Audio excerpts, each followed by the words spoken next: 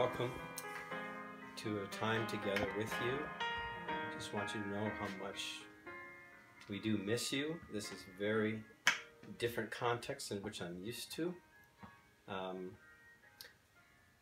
please be patient with us because we're kind of on a learning curve right here, right now. Uh, I would like to, to thank my production manager, Lori, for uh, her creativity in making this possible. We looked a lot of YouTube things just to try to to bring this message to you. Like I said, we, we, we really miss you. This is this is not ideal, but I'm thankful for this technology that we can at least communicate in this small way. Um, as we move forward, things may change as to how we do this. Uh, hopefully, it'll get better as we move along. But having said that, what I want to do for the next few weeks is take some ideas and principles out of Jeremiah 29 11, which is a passage that I think is most uh, familiar to many of you. Uh, I'm titling it Encouragement from God During Life's Discouraging Moments. And I think we can say that this is one of those times that we can easily become discouraged and begin to look too horizontally and not enough vertically. What I would like to do is just read you the text right now that we'll be looking at. And this is just introductory stuff for this this morning. There were some tough times that Israel was going through, some really tough times.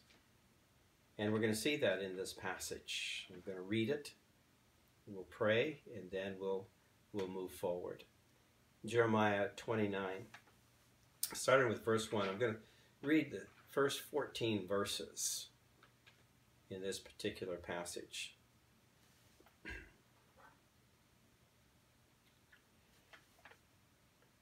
These are the words of the letter that Jeremiah the prophet sent from Jerusalem to the surviving elders of the exiles and to the priests, the prophets, and all the people whom Nebuchadnezzar had taken into exile from Jerusalem to Babylon. This was after King Jehoiachin. And the queen mother, eunuchs, the officials of Judah and Jerusalem, the craftsmen, the metalworkers, had departed from Jerusalem. The letter was sent by the land hand of Elasah, the son of Shaphan, and Geriah, the son of Hilkiah, whom Zedekiah king of Judah sent to Babylon to Nebuchadnezzar king of Babylon. Here's what it said Thus says the Lord of hosts, the God of Israel, to all the exiles whom I have sent into exile from Jerusalem to Babylon. Build houses and live in them, plant gardens and eat their produce Take wives and have sons and daughters. Take wives for your sons and give your daughters in marriage, that they may bear sons and daughters. Multiply there and do not decrease. But seek the welfare of the city where I have sent you into exile, and pray to the Lord on its behalf for its welfare. You will find your welfare. For thus says the Lord of hosts, the God of Israel. Do not let your prophets and your diviners who are among you deceive you, and do not listen to the dreams that they dream, for it is a lie. That they are prophesying to you in my name. I did not send them, declares the Lord. For thus says the Lord, when seventy years are completed for Babylon, I will visit you, and I will fulfill to you my promise, and bring you back to this place. For I know the plans I have for you, declares the Lord plans for wholeness. Another word that can be inserted in there is plans for your shalom, plans for your peace, and not for evil, to give you a future and a hope. Then you will call upon me and come and pray to me, and I will hear you. You will seek me and find me. And when you seek me with all your heart, I will be found by you, declares the Lord. I will restore your fortunes and gather you from all the nations and all the places where I have driven you, declares the Lord. And I will bring you back to the place from which I sent you into exile. Father, I pray for this time that we would be gleaning much from your word, that we'll receive many applicational principles here when we look at how infinite you are and how finite we are. I pray that as we move through this passage over the next few weeks that we will come away with a confidence of being encouraged because of who you are and that we're not discouraged by the circumstances that surround us. May we call out to you as blessed. May we recognize that you are the sovereign over all things, that there is nothing beyond your care, there's nothing beyond your concern, and there's nothing beyond your power. We pray this in Jesus' name. Amen.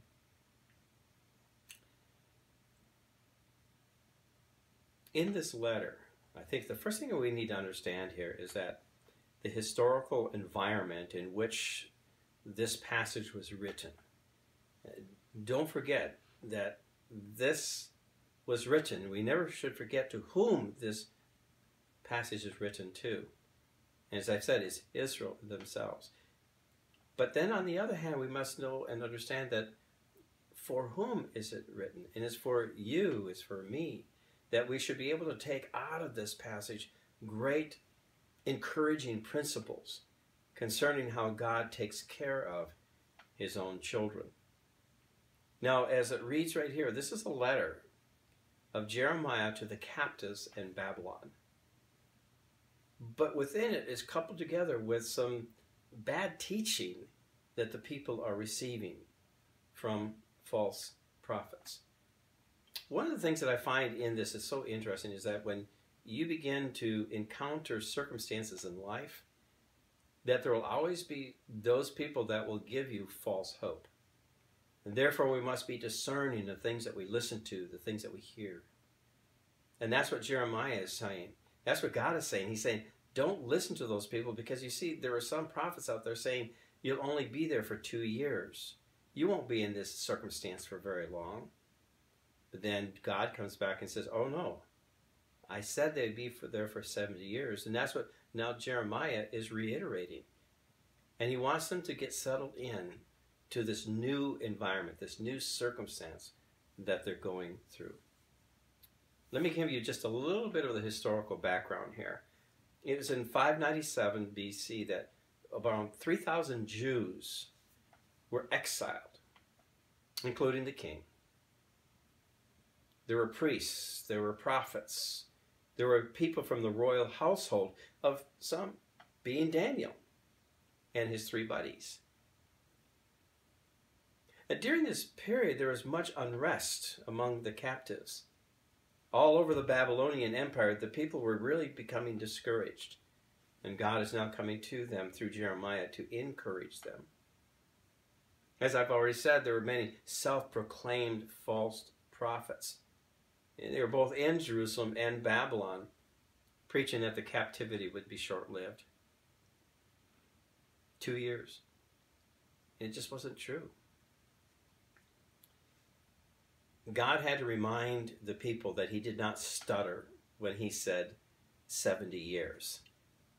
And they needed to understand that.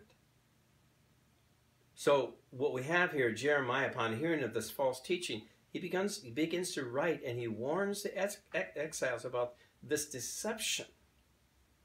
And he now he is urging them to wait patiently for God's time and timing. One of the things that I find interesting in this passage is that here these people are in dire circumstances. Here they're exiled into captivity. They're now would be considered slaves. But Paul is saying just because your circumstances have changed doesn't mean you stop living. You stop, don't stop engaging in what you're doing. It's sort of like this, this virus here. Uh, we're kind of quarantined off, but that doesn't mean we stop living. Doesn't mean we don't. We stop doing the things that God has called us to do. So this is what we're learning. Some of the principles principles we're learning here. I want to give you just three immediate type of principles or lessons we can learn from this particular passage, and we're going to delve into a little bit more deeply as over the next few weeks. And the first is this be careful and be discerning who you listen to. It is easy to get distracted, it's easy to get misled if you're not discerning enough to be able to know what is true and what is not true. What is really what God has said rather than what man has said. I think it's John MacArthur who said that unfortunately in the evangelical circle today, the mark of discernment is sorely lacking.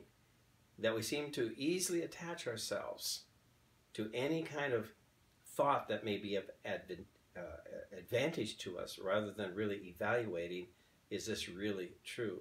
We're, we're experiencing that today in, in, in some of the media that we receive information oh no, they're going to do this and do this, and all of a sudden we find out it's not true. So therefore, we must be discerning in what we hear, be discerning in what someone is saying. But the second thing is this in this whole passage, and that is trust in the sovereign work of God, knowing that He has a plan and He has chosen you and me to be in that plan. I mean, if you just look at the passage here,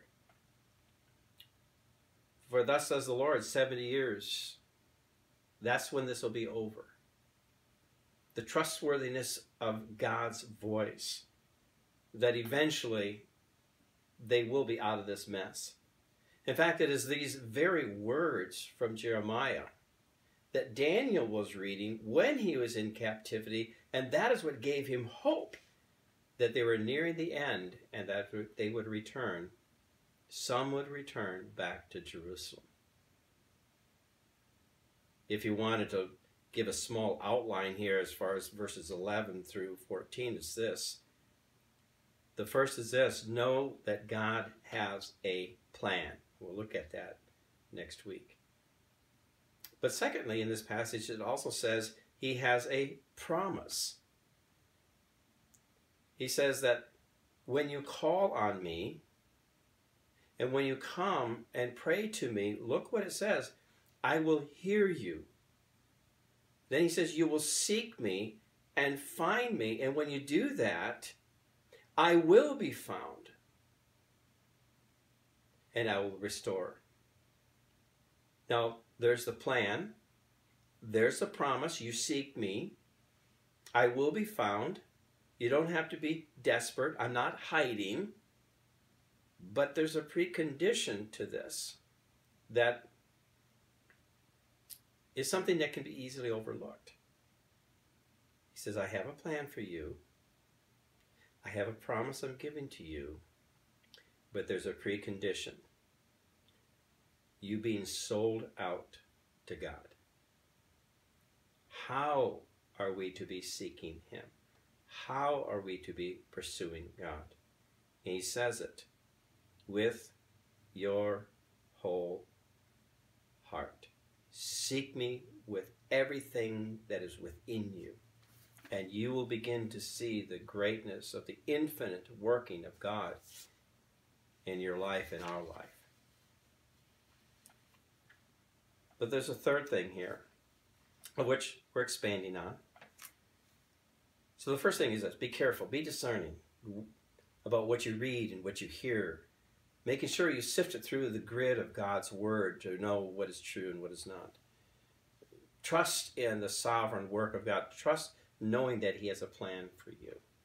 But thirdly, understand this, and we're seeing it right here. God will often cast us completely adrift and take away what I call our security blankets in life. What's a security blanket? Well, you've seen little kids with security blankets, right? You've seen them carry it, drag it around the house, and and it gets all dirty and ratty tatty. But it's their security. It's the thing that keeps them calm. It keeps them focused. But have you ever noticed how when you take that away, and when mom decides to wash the security blanket,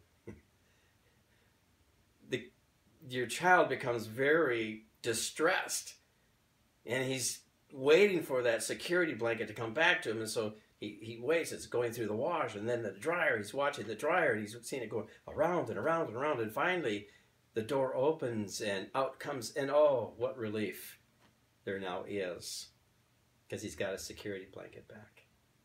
Uh, I think that's something like God does to us. We will walk around with our security blankets. We think that we live in the land of plenty. We have monetary means, and sometimes we begin to treat that like our security blanket. We begin to, we look at our houses, that becomes our security blanket. We look at our health and we become begin to think that because I'm in such good health, that's my security blanket. Everything is right, everything is good. Sometimes God takes away that security blanket to teach us a lesson. All those that things that we depended upon that we regarded as essential to our well being, sometimes God will remove it. If you look at verse 7, one of the things you can see there is I call this the loss, where God will bring loss into our life. Here, look at Israel. There's a loss of a nation state, there's, there's a loss of identity, there's a loss of that, that reality that are we really God's chosen? There's a loss of kingship. Kingship meaning the security of a ruler, the security of somebody who's going to hold everything together. He's gone. The security of an army. I mean, how many times do we hear on television today where we have the mightiest army around? That can sometimes lend itself to thinking that's our security blanket because nobody can touch us. It's just not true. And Israel came into that confrontation that God took away the security blanket of their army. He destroyed them. They had nothing left. He then, there's a loss of the national borders. There's no longer any border to identify this Israel. But most importantly for them, they lost their temple. They lost the very security blanket that they thought would be there forever. Because with that loss, they began to think that God disappeared. And then they begin to wonder why? Why would you take away even your temple from us? Why would you take away our security blankets? And let me give you two reasons why I think this may be so often is to give us a new perspective on who he is and how he operates in our life. But secondly, he gives us a new understanding that he has everything under control. Don't worry, trust me, he is saying. So in this passage here, we're finding that the first thing that we must do is think vertically, not horizontally. For if we begin by looking at things horizontally, it will weaken our trust in the vertical relationship that we're to have. We must look vertically through the prism of His greatness and sovereignty, and then allow ourselves to look out horizontally, seeing that He is in all of our circumstances. And even without our security blanket, we can still feel secure. But what happens though? What happens if we fail to trust God? To trust Him in everything that He said He would do for us? Again, I think there's two things that we can think about here. And it's the naturalness of our humanity that we, we deal with here. And the first is this if God doesn't measure up to our expectations, if God doesn't measure up to, to what we're desiring from Him, and He takes away the things that make us feel secure, I think the first thing that will develop within us is a bitter resentment towards Him. How dare you, God, take this away from me? It's as if we believe that we deserve all of these blessings. And we, we begin to believe that, that God owes us something. And so I think we begin to develop this, this resentment. And it begins to show itself in our relationships with other people. It begins to show itself in, in our emotions.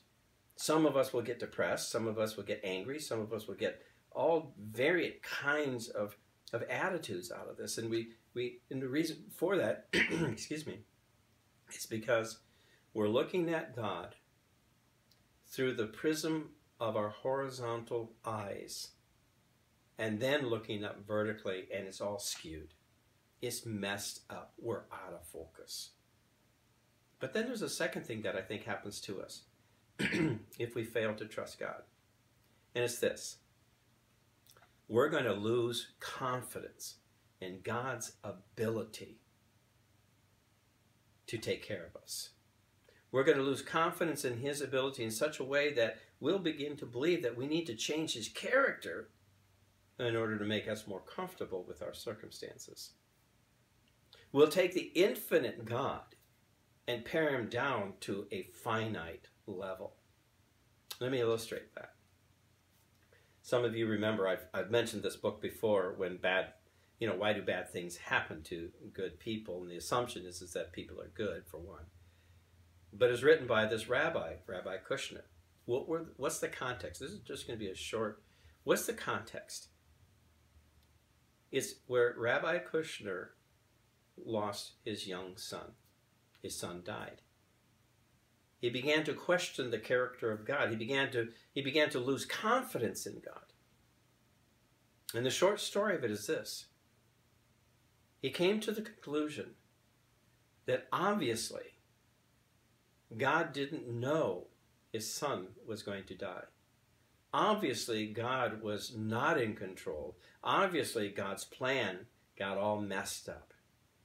You see, what Kushner had to do in order to satisfy his own angst was he had to change the character of God to make himself feel settled in life. The problem is it never does, and it never will. What kind of God is that? It is no God at all. That's why I said what he did is he took the infinite and pared him down into the finite, and then he treated God like a wax nose.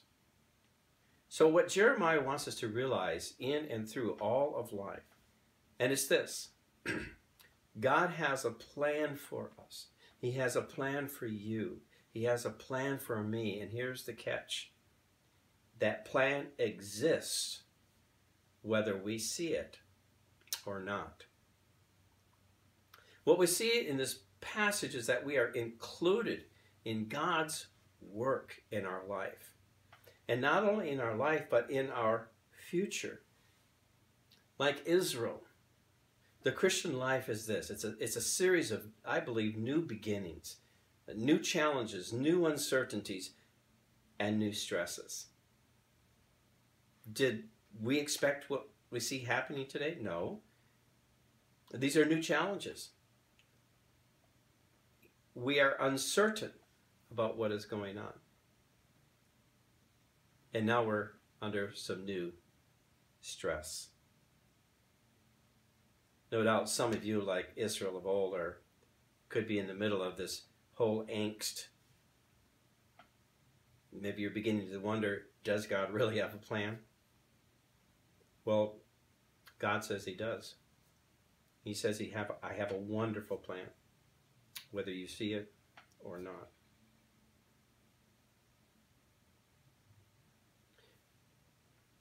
No doubt some of you, like I said, are in this, in the middle of something. But you need to understand is this that God has everything under control. Even though it seems to you there's nothing redeemable about our circumstance, there's nothing redemptive about what's going on, you need to understand that there is because who God is. In fact, some of you will go through life. There'll be times, those low times, that not just what we're dealing with here, but there'll be times, low times, where you're going to be doubting your purpose in life. Why am I here? What's my purpose? What's my calling? Understand this God has a plan, and He has called you into that plan to be used. God will use you for His glory and your good. If so, if you're in a doubtful mode, then this text is for you. It's written for you. It's a kind of passage that ought to be an encouragement to you during discouraging times. I want to kind of give you just a taste of what we're going to be looking at next week. What are God's plans anyway? And I just want to hit just the first point because there's going to be four underneath that, and we'll look at that next time. But I want you to be encouraged by these final remarks here. It says, For I know the plans I have for you, declares the Lord. And he goes on. The first thing I want you to see is this God's plan for you is complete. And because you know that, it ought to bring great comfort to you. Look at that phrase. I know the plans I have for you. What does this indicate? What is this telling us? God is saying, My plans are exhaustive, extensive, and all inclusive. It's an all inclusive scope of His plan for you. It's huge. And the thing of it is, is he knows it, he comprehends it, he knows all about it. Let me give you kind of a paraphrase, and I'm going to read two texts as I close. It's this. It's an opening promise. His plans are wholly known and comprehended by him. And the word I in there is emphatic, which suggests this. It's God speaking to you. I you do not know the plans I have for you. This is God speaking. You don't know the plans I have for you. That's okay. And you may not think in your situation that anybody can know your circumstances and situation. How can they know? And God is coming and He's reaffirming Himself to you. He's saying, But I know the plans I have for you. It doesn't matter whether you know them or not. That's not the issue is to find comfort in knowing that God specifically to you has a plan that's going to bring goodness to us and glory to Him. Let me end with these two encouraging verses. The one is found in Isaiah 55 9. The other is Psalm 77 19. And it reads Isaiah as the heavens are higher than the earth, so are my ways higher than your ways, and my thoughts than your thoughts. I don't think we should ever forget that. Don't ever think that you can think greater thoughts than God. Impossible. But there's a second thing here, and I think is really neat. Psalm 77 19. Your path led through the sea, your way through the mighty waters. This is God. God, your path led through the sea, your way through the mighty waters. Love this. Though your footprints were not seen. What a way of knowing to have confidence even though you cannot see the footprints of God, know this God is still with you. He still is fulfilling his plan in you. May God richly add a blessing to our time. Let me pray. Father, I'm so grateful that we can spend just a few minutes in your word. I hope this has been an encouragement to each one that has watched this video.